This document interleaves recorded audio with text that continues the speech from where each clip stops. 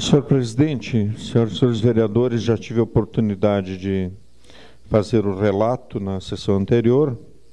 Eu só alertaria os colegas vereadores de que todas essas eh, emendas eh, referidas por Vossa Senhoria, com exceção da emenda modificativa número 1, 2019, já foram incorporadas ao texto da mensagem retificativa encaminhada pelo senhor prefeito.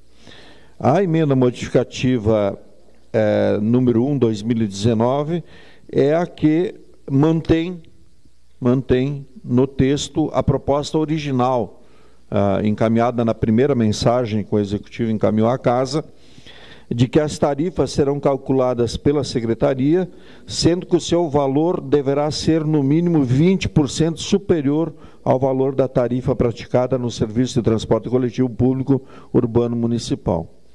Essa foi uma ampla discussão feita na comissão e a comissão entendeu então de propor uh, a manutenção do texto original por conta de que estamos votando, né, vereadora Paula? Eu acho que todos os vereadores Gustavo, vereadores que fazem parte da comissão, estamos votando aqui a, a, a regulamentação de um transporte seletivo, né? Ele não é um transporte coletivo, né? E nós estaríamos abrindo aí a possibilidade de, inclusive, uma discussão jurídica, né? Na medida em que, se tu autoriza eh, 40 novos veículos, né? Na, serem colocados na praça, é, com as mesmas condições da concessão do transporte coletivo, é, não se absolutamente não se justifica. Né? Então, tu, tu, tu, simplesmente elimina esse transporte seletivo, porque ele, na realidade, vai concorrer diretamente com, com, a, com o transporte coletivo. E, na realidade, é importante que os vereadores compreendam que o que está por trás de toda essa discussão é a concorrência que independe da nossa vontade, que acontece de parte hoje do transporte por aplicativo. Né? O grande concorrente hoje do transporte coletivo e mesmo do transporte seletivo, na realidade, são os aplicativos. Nós tentamos aqui regulamentar na casa a questão dos, dos aplicativos, mas o Tribunal de Justiça do Estado entendeu eh, e derrubou praticamente hum, a parte principal do, do projeto que trata dos aplicativos, são mais de 20 artigos que, em tese, foram declarados inconstitucionais. É uma discussão que ainda está acontecendo, né?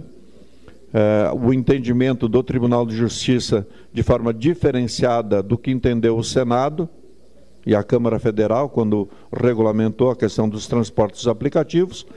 E nós, aqui, inclusive, aproveito, né, vereadora Diló, para mais uma vez é, destacar de que nós aqui na casa, com relação à questão dos aplicativos, nós votamos um projeto encaminhado pelo Executivo, né?